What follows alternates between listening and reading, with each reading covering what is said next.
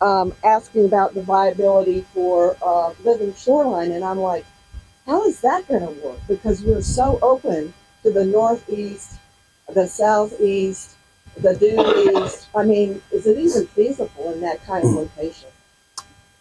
Uh, so it's Everybody get that question. So Anne Arundel County, wide open area. How do you do living shorelines? And by the way, check in. Can everybody hear Chris when he's speaking? everybody hear me? I'll get it closer to my mouth.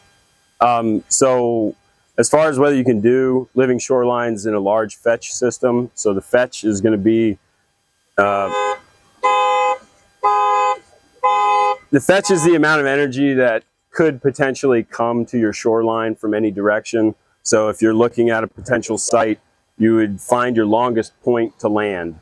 And you know, you're looking at the fetch right here is pretty darn big because it goes way down there to the south.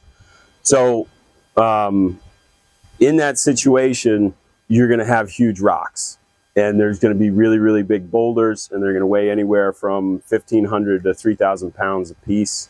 And they're just going to be stacked in essentially a trapezoid with a cutoff wall towards the water. And it will withstand pretty much everything Mother Nature can throw at it. And a lot of that has to do with contact. The boulders has, have to be really well placed. And there's there's two different there's different types of that that you can do. And there's offshore breakwaters that aren't connected to the land. So if you're familiar with like Mayo Beach, uh, those have offshore breakwaters in Anne Arundel County. Um, sorry, Beverly Triton. Beverly Triton has offshore breakwaters. The headland breakwaters are more like what is actually happening down here. I I saw it on the map. Maybe we can walk down there in a little bit and take a look at it because right here we're really just looking at a riprap revetment, uh, which could potentially work in that situation, but that's not a living shoreline. But if you get really, really big boulders out there and you go channelward, I mean, the, the Corps has certain requirements of how far, limitations to how far you can go out, but you can backfill with a lot of sand behind it and you can create marsh habitat. It's just your boulders have to be really big, really well touching, really well good contact, and uh, out there far enough that the energy is dissipated. And what will what they do now in all living shorelines is create vents in them. So if you had a headland breakwater that had an, a vent, an opening, um, one of the projects that we did was Fort Smallwood. Fort Smallwood's had a lot of work done to it in northern Anne Arundel County, and it was a headland breakwater system designed by Baylands in Anne Arundel County. And you create tombolos of like a sand spit. Uh, so you're almost creating like an island of the riprap out there. And then you plant that. It's hard to hard to describe without a picture, but it's like a semicircle. If you look on Google Maps, you'll find it all over the Chesapeake Bay. There's a, a line of riprap out in the water, and then there's a semicircle of sand connecting it to the next one. And that's essentially a headland breakwater with a tombolo. And you could do that in that type of situation. With really high fetch, you could still make that work. Because we did it on the middle Patapsco at Fort Smallwood, and it's holding up great, really doing well. And there's a huge fetch up there. Uh, so again, my name is Chris Perry. Uh, my company is Born Environmental. We do ecological construction. We primarily do stormwater and stream restoration, but over the past three or four years, we've had the opportunity to do a lot of large-scale living shorelines. Uh, so I'll talk just about a couple of them. I've already mentioned some of them. Just trying to answer a question about the amount of energy and when you can use a living shoreline. Um, but in this situation right here, we're looking at a a riprap revetment. So not a living shoreline right here. You go from upland and you drop down immediately to the tidal zone. So what we're trying to recreate in a living shoreline is the littoral zone, the zone between mean low water and mean high water, and you're trying to create use as much natural products as you can to recreate a functional marsh. The benefit to that is it's gonna it's gonna survive even the biggest storm events even though it might not seem as strong as a seawall or a bulkhead or anything like that, all that energy that's coming at it is going to be dissipated partially by the sill that you create, but also a lot by the vegetation. So the vegetation is pretty key in everything that we do.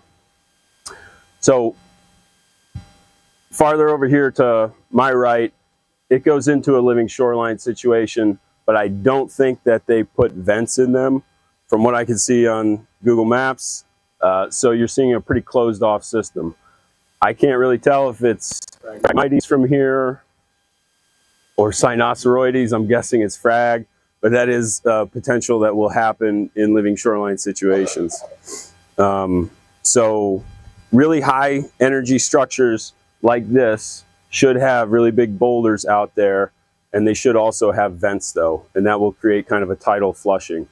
Uh, when you get into lower fetch situations, we just built a project on the Patuxent River near Magruder's Ferry Landing, and it was essentially a stone sill, a very typical uh, living shoreline. Lots of people have them installed, private landowners and whatnot, but the, the big driver for this project is credits. Uh, the credit game in the state of Maryland is is pretty severe. If you're not familiar with the industry of restoration, both stream credits, uh, wetland credits, stormwater credits, it drives a lot of the money that's being spent on restoration. And so you're looking for water quality. So a lot of times wildlife gets overlooked, unfortunately, but it has a, they're mutually beneficial. So at the end of the day, it still works out. So the living shoreline that we built in the Patuxent River uh, was a stone sill uh, much smaller boulders. Describe a stone sill, what that is, and also describe vents and what they Sure. what they look like. So a a stone sill is going to be like what you see out there. If you can't see it, feel free to move around and take a look at it. Maybe we'll walk there. But a stone sill is like a trapezoid. Think of the cross section of it is going to be a trapezoid essentially. It's probably going to have a little footer kicking towards the water, but a cross sectional angle of it is a trapezoid. Probably going to have a four foot wide top to it, meaning it's going to be flat for four feet on the top, and then it's going to have a two to one slope channelward. And on the back side, it might have a more gradual slope, and it'll be backfilled with sand up to it. The elevation of that sand is what kind of varies. But that is what a sill is. It's a it's a structure that you put channel channelward from where your erosion is happening, and you try to break that wave energy before it gets to the erodible soils. So we're almost everything that I've been talking about so far and where we are right now, we're in the coastal plain. So not very typical to see a lot of granite being imported, but that's what we do. We import a lot of granite to dissipate that energy. And we would love to use wood and more natural stuff in all those situations, uh, but it's pretty challenging when you have really high fetch situations. Um, the vents are gaps in that sill that you build out there to allow the water to come in and the fish to go out. So if you get a really high tide event, you don't have any vents, there's all sorts of critters that come inside and then they can't get through the barrier of all that stone. So that was kind of a early iteration that I think DNR and some of the others involved in shoreline restoration in the beginning of it realized pretty quickly you got to have an opening. What size is that then? Or would it be? Um, it will depend on how The question was, what size is, is a good vent? so I'm thinking it, it's going to vary. An engineer would have a better answer for you. They have a, a certain ratio of it, um, but I mean it could be anywhere from four feet to 40 feet, depending on how big the the structure is. So if you're on a system like this, you could probably, and you've got really big boulders, you probably have up to a 40 foot opening. If it were something much smaller on a smaller tributary, you'd only do you know three to four feet of a gap. So it, it, varies a lot. It also varies on how much sand you want to keep inside of it. So some of the projects that we do require 7,000, 10,000 tons of sand to be imported. So obviously the cost of these projects goes way, way up. And we're trying to incorporate wood, incorporate more natural materials that we can find on site to drive that cost down. Uh, but while I'm talking about it, in general, the cost can be anywhere from $100 a linear foot to $1,500 a linear foot.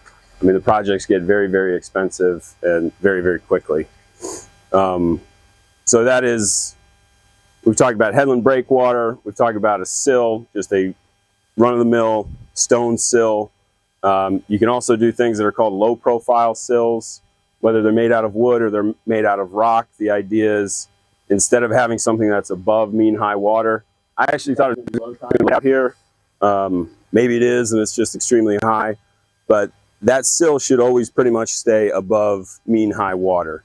So you should be able to see the top of the stone pretty much at any time in mean high water.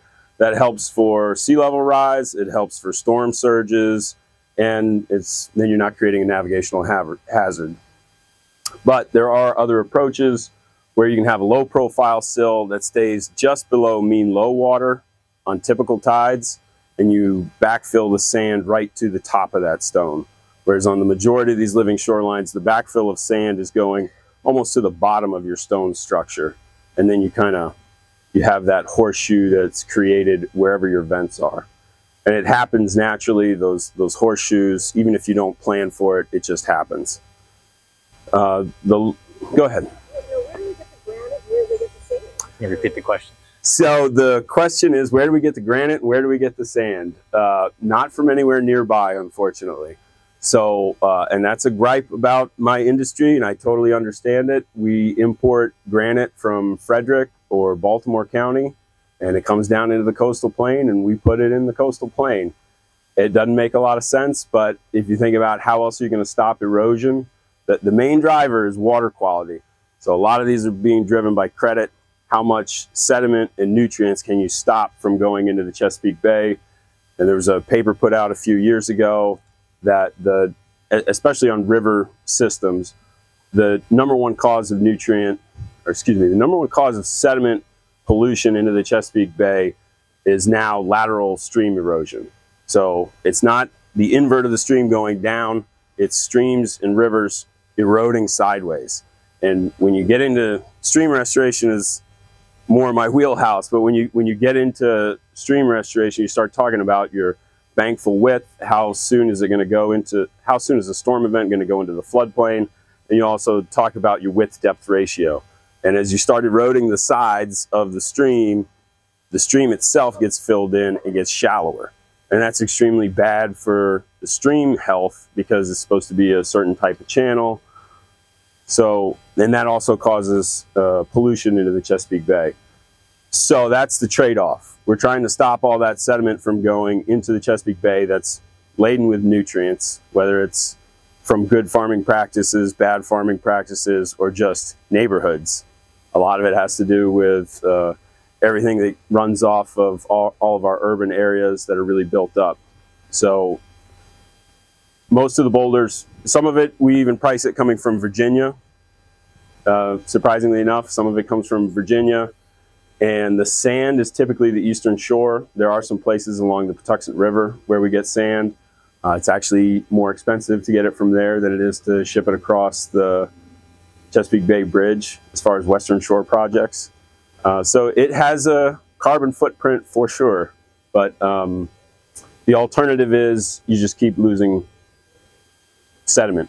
You just keep losing land, and that's a lot of the, a lot of especially private landowners. Their number one complaint is not necessarily I want to build the best duck hunting habitat. I you know I want to I want to be able to fish rockfish off of these cool structures you build off of here. That's usually not the first complaint. The first complaint is I'm about to lose my house or I'm about to lose my road, and that's what they want to stop. So by all means necessary, they want to do that. Good morning. Uh, different items you're talking about, will that help uh, stop the saltwater intrusion coming in inshore?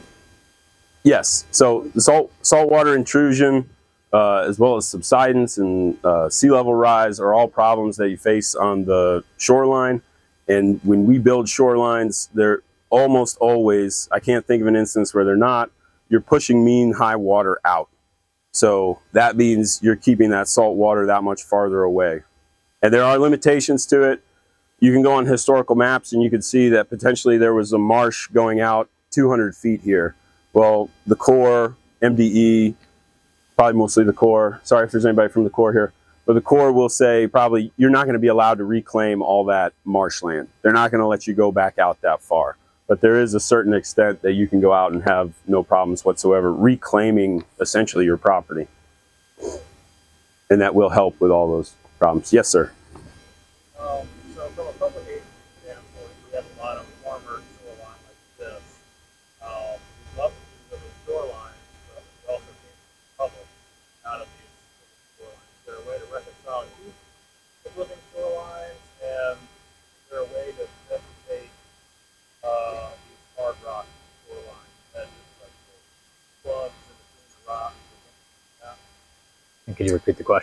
Uh, the question is, how do we kind of, let's see, what is the question? The question is, how do we uh, continue to have living shorelines because that is something that the state is pushing for. Uh, how do we make it so that we're not going to have uh, public use impacting it, or how do we make this be more vegetated? As far as this being more vegetated, I think it's a pretty hard sell. Behind this rock is a filter fabric cloth, whether it's woven, non-woven. There's some kind of fabric back there that's blocking the sediment from the actual rock. Eventually you might get some siltation in there. It's accreting in between the cracks and you might get something to grow, but it's pretty unlikely. And then this thing is, the energy that this thing is getting is head on really hard. And so it's not like in a, in a sill where it hits that rock and then it goes over it and then it gently comes in. It's pretty neat watching Spartina in a coastal marsh when a wave hits it and you just watch that energy dissipate. Um, but as far as keeping the public kind of, not necessarily keeping them out of it, but making it so that they're compatible, um, we use fencing. We use fencing, honestly, to keep resident geese out, which is something I've got to get to before I run out of time here. But um, there's definitely a way. Fort Smallwood is a great example. Anne Arundel County Park said we want to be able to still have a beach. We want to be able to still have tons of public access. People love this beach. Like, okay, well, you got to meet so many marsh credits. Like, we've got to, we have to have so many square feet of Spartina alterniflora, Spartina patens. That's the low marsh and the high marsh plants in a brackish system. Uh, so what we did was we chose one of the tombolos, one of the spits of sand that went out to the the headland breakwater that we built was vegetated all the way to it. And then the rest of them were just vegetated kind of mostly with Spartina patens on the high marsh side. And you left the rest of it for beach. That doesn't mean eventually Spartina alterniflora isn't going to migrate there and figure it out, um, which it will. Well, I think we have another couple of questions. I thought, was Dan first or were you first? So just real quick before another Go question, I, I mentioned resident geese. If I don't talk about this, I'll be very mad at myself. Resident geese are a huge problem, and everybody really needs to be aware of how bad they are. I go to lots of stormwater communities where we spend thousands of dollars, excuse me, lots of communities that have stormwater ponds being retrofit, and we spend thousands of dollars on the landscaping, and we have to put up goose exclosure fence, and sometimes it's not even enough because they won't even consider culling the flock of geese that's on the pond. They are doing a number on the Chesapeake Bay and they do a number on wild rice in the early season when they're growing. They nip the top of it and that plant is not going to grow. So by all means, kill resident geese. and those are distinct from migratory geese, and so that's that's Different we- season. Yeah, we can talk about as well. Mark. Hey, uh, uh, Chris, be, be, because you're, you do installation work, for everyone here, if they should see a segment of eroded shoreline, what's the mean typical cost per linear foot to do your rock work, to, to, to do the, the ecological restoration of a living shoreline? Is it 300 a linear foot? 500? I would say it's in that it's in that ballpark for a private landowner. It's probably somewhere around there. Um, when and that kind of the same for stream restoration as well. When we get into the thousand dollar projects, that's usually state funded public job or county jobs that are either generating a lot of credits or they're just protecting some incredibly valuable resource. Um, and then a lot of the stuff that I am hopeful to get into more in the future is using really native material, low impact stuff that a private landowner will want to do because a lot of our projects, like I say, are credit driven, but private landowners don't care about credit. They also don't might not have a six foot tall bank that's eroding at so many feet horizontally per year. And that's what drives the credits. And that's why someone would pay for that. That's why the county would pay for it. So you as a private landowner, you say, okay, well, I just have a whole bunch of tidal marsh and I'm losing like five feet every year. Like, what do I do? They're like, okay, well, we don't want to bring a whole bunch of granite boulders out there because A, it's kind of ridiculous. And two, nobody's paying for that. So you got to pay for it. So in low impact scenarios, we're really trying to move coir logs disintegrate. Coir logs are, we use coconut husk for almost all of our stabilization. And there are coir logs that are just tightly bound coconut husks. And they come in like a 12 inch, two, two foot roll. and you can use them for shoreline protection, but they disintegrate if you don't keep them wet for a really long time. So you got to use wood and other kind of uh, oyster reefs are another thing that's becoming more and more popular. People are not just throwing bags or dumping shells out there. They're actually coming up with really innovative techniques that are either some kind of cement or some kind of hardened structure, and then they put that spat on it, and it just promotes growth that much faster. All right, I think we have time for one more question, and we are just scratching the surface. I think we could go on for easily an hour on this, um, but don't forget we're going to be here for a while. We got lunch, so make sure we'll, we'll take one more question. We're going to move to the waterfowl piece, uh, but one I don't know who raised their hand first, but you, Larissa, you're right beside me. Go ahead. Alrighty. Hey, this isn't a technical question, so I apologize if you don't know the answer, but maybe it's an open-ended question for anyone here who might be able to come talk to me about it later. It's my understanding that with the shorelines used to be a cost share practice, and that's no longer the case today. But I'm seeing in states like Virginia, it's an agricultural cost share practice, and that makes it a lot more affordable and therefore a lot more accessible to landowners. I'm wondering why or why not it would or would not work again here in Maryland. Yeah, let's let's find all those state representatives here and give them a hard time. But I, I don't I don't know the answer to that, and I, I don't think we should give the state people a hard time. I think right now where it stands, I've been at private landowners marshes with DNR and said, hey, you know, what do we do? This is a huge, very valuable marsh. Maybe we should get state highway involved. It's protecting Route 50. You know, like really important things like that. And you're like, all right, where's the money? And so, well, you're a private landowner that owns this property and you're protecting it basically for yourself or so that you can go duck hunting. Obviously, there's a lot of other benefits to it, but until you find that stakeholder that's willing to come forward with the money, the most that DNR is going to do, because you're not really going to apply or you're not going to qualify for most of the grants. And if I'm speaking out of turn, if anybody from DNR is here and has a better uh, grip on it, please let me know. Um, but the, the, the number one thing that they will absolutely do is do a loan. Uh, and I'm not sure if that's coming out of state revolving fund. I don't really don't know where that money comes from, but that's their number one source of revenue for a private landowner. What I suggest to lots of people, especially people that are promoting public access to their property or they're a foundation, a nonprofit, if they're a private landowner, I say make it a nonprofit. I don't care what you do, but you open yourself up to all sorts of grant opportunities. If you're a homeowners association, they can apply for grants where a private landowner couldn't. You, just because you're a community of people, you, you get deference on a lot of grants. All right. So uh, Luke's in Levin, charge. Levin, quick question, and after this, we'll wrap things up. And we're going to walk just to give everybody a telegraph.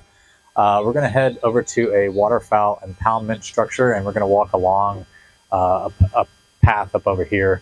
Uh, so I think we're all good to walk. If you if you need to drive, you can, or if you have some folks who can't get too far, it's going to be just a couple hundred yards over that way. Um, so that's just to get you oriented. But I think we can walk there. Go ahead, Levin.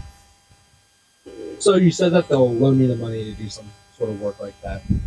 What would the interest rate on a loan like that be, or is it very, very low interest, or? I think I think it's low. I think it's fixed, but I don't know those numbers exactly. I've never been through that process. If I get to that point, I'm probably diverting and saying, okay, well, let's do a mitigation bank, or let's try to get a full delivery through state highway, some other means of somebody paying for it. So a lot of terms happening here: mitigation banks, other things like that. Uh, okay, you, you got me. Go ahead. What do you got? No, I actually wanted to um, let you know that the um, the Chesapeake and Coastal Service of DNR they have a grants gateway webpage, and one of the items on that grants gateway is about the low interest for erosion loan. Cool. All right. So lots more to cover. Uh, feel free to talk to speakers and to each other. Sounds like Leanne here uh, knows some things about that stuff. So if you're, if you're interested in more of that, find her.